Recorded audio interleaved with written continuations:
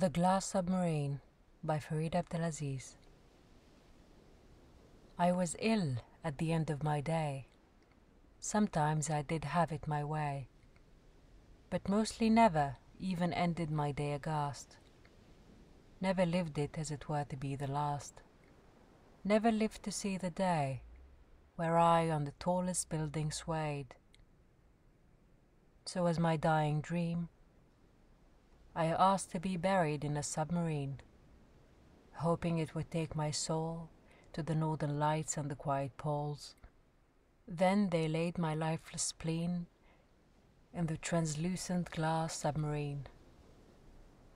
As it gently landed at the bottom of the ocean, the fear let go of me and with it caution. The glass shattered in a silent beam, and with it every one of my longing dreams.